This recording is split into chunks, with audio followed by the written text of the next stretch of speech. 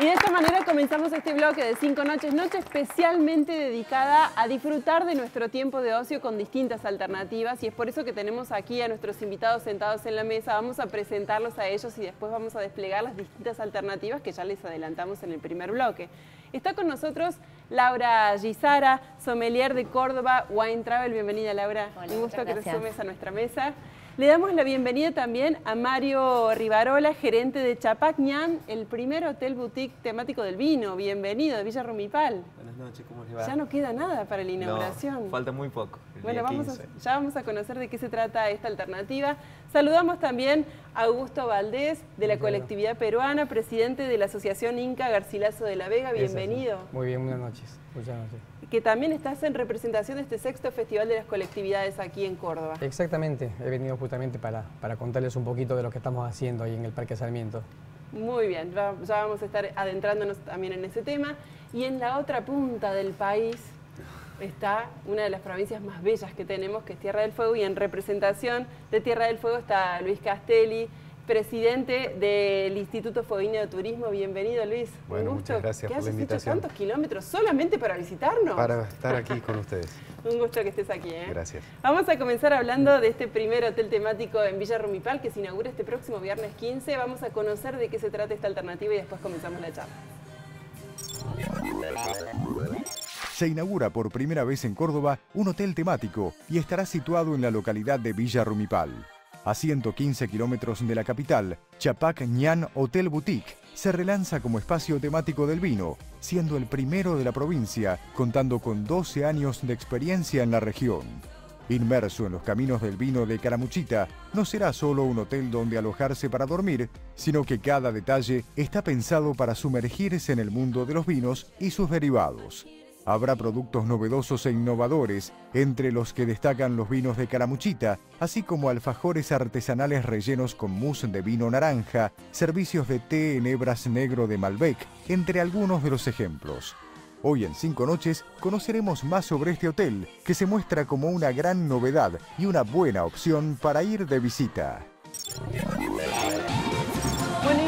Programa hemos hablado muchas veces de la producción que hay en Córdoba de, la, ruta del vino, pero siempre es una buena noticia que encima ahora también se apalanque con este hotel, ¿no? Exactamente, porque es una nueva propuesta, una nueva alternativa también que tienen los cordobeses, como para disfrutar también de lo que son las instalaciones de un hotel boutique que es dedicado al vino. O sea, vas a un hotel, te quedas ahí porque ahí tenés muchísimas actividades que además te las van a proponer. Y así es, entonces, cómo arranca este emprendimiento, ¿no? Como para brindarle también a los cordobeses y a los turistas que ya van a empezar a llegar pronto a nuestra provincia. Sí, así es. La verdad que estamos muy contentos porque vamos a hacer el primer hotel boutique del vino en la provincia de Córdoba. Así que bueno, tenemos tenemos distintas cosas para, ofrecer al turismo, al turismo que viene a la provincia de Córdoba y trabajar con, todas las bodegas de Córdoba. ¿no? Entonces es muy importante para nosotros que todos se sientan cómodos y que disfruten del hotel porque vamos a tener muchas cosas. El día 15 de noviembre a las 6 de la tarde, a las 18 horas vamos a inaugurar con un té, como decían recién, de Malbec y Torrontes, eh, con un alfajor, con dos chicas de acá de Córdoba que ¿Cómo con un té de Malbec y de Torrantes? Claro, viene una, ¿Caliente se toma? Exactamente, viene una amiga desde Mendoza que hace todo lo que es té, hace cremas, hace distintas cosas a base de, del vino, ¿no? Entonces va a haber un té de vino eh, para mujeres con este alfajor, con tortas.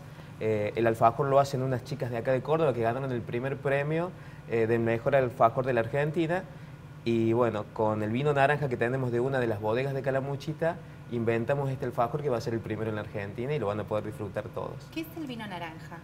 El vino naranja es este que tenemos acá, de vista grande.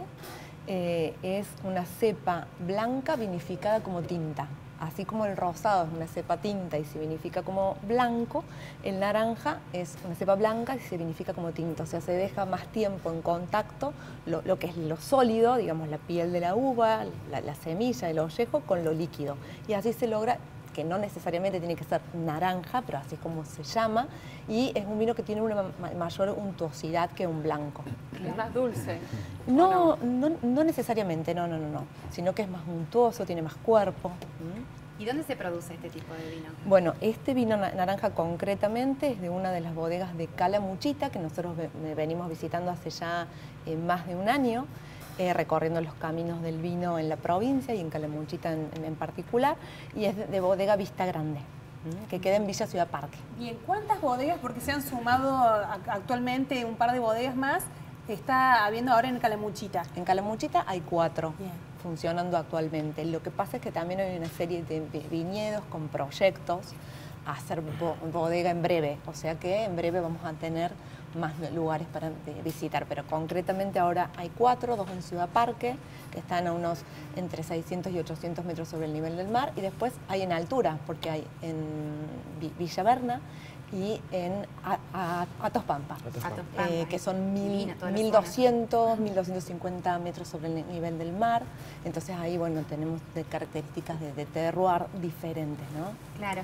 Y cuando hablamos, por ejemplo, de hotel boutique, hablamos de un hotel mucho más chico con otro tipo de servicio, ¿no? Pero en el caso de hotel temático, ¿qué es un hotel temático, no? Bueno, en este caso dedicado al vino, pero hay muchísimos temas que también pueden incluir dentro de las instalaciones, ¿no? Claro, totalmente. Es lo que recién les comentaba, era como ser en, la, en la parte del spa vamos a tener cremas, perfumes, sales, en, en la parte de hidromasajes, en la parte de los saunas, porque es como decís vos, este hotel es un hotel de nueve habitaciones y un departamento, entonces es muy chico, entonces la atención hacia el turista es muy personalizada. Muy personalizada.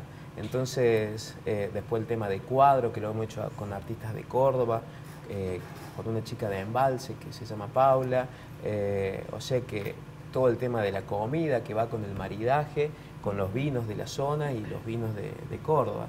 Eh, así que, bueno, estamos en este emprendimiento que la verdad que nos pone muy contentos. Tienen una cava subterránea. Sí, totalmente. Tenemos una cava porque esta casa fue, la, fue una casona del año 1933, fue la segunda casa de Rumipal, entonces después se transformó en este hotel boutique al oye del lago. Bien, eso se estaba viendo recién, la pileta y una ubicación privilegiada al lado del lago. Y bueno, bellísimo todas las habitaciones, se ve muy, muy lindo todo. Sí, la verdad que sí.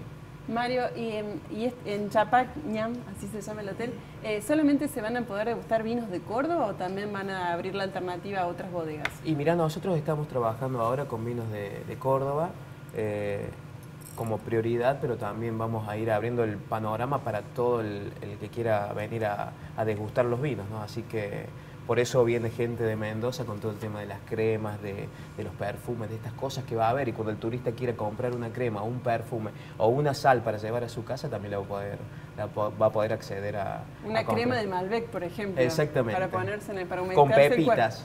Son con pepitas. Qué lindo. ¿Y qué otros atractivos, por ejemplo, turísticos tiene Villa Rumipal? ¿No? Porque eh, si planificás las vacaciones, no solamente lo haces un fin de semana, porque la idea es que la gente se quede más días, ¿no? Entonces, ¿qué, pueden visitar aparte de alojarse ahí en el hotel? Y bueno, nosotros tenemos lo que es, todo lo que es la playa, del lago de Rumipal, aparte tenés el lugar, eh, tenés los pueblos aledaños como Embalse, como Santa Rosa, Villa Canal Belgrano, La Cumbrecita, eh, tenés cerros eh, para andar a caballo, o sea, tenés un montón de, actividades que se, pueden, que se pueden hacer en Villa Rumipal, en Villa del Dique y en la zona, como en Embalse. Visitar este criadero de, de pejerrey como ser que, después se, se, largan a los grandes lagos estos, que la comida, digamos, fuerte, el plato fuerte nuestro es el pejerrey, porque sale del lago y va directo al plato, digamos, para, para, que el turista lo pueda, lo pueda comer eh, fresco, ¿no?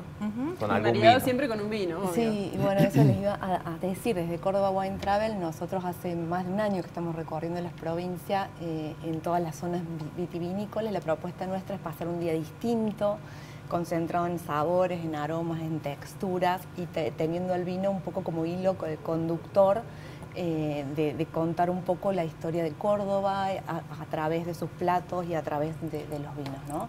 El 7 de diciembre tenemos un evento, es un wine tour eh, en Calamuchita, donde vamos a ir a Bodega Vista Grande y a Bodega Familia Furfaro y vamos a almorzar en el ¿Y cuáles son las cepas que trajiste acá la, de, la bodega? Bueno, aquí tenemos un Malbec 2018 de Finca Vista Grande, es este que está aquí. Surmenage es un vino joven bien, frutado, no hay nada de, madera en este vino, predomina la fruta, el sabor.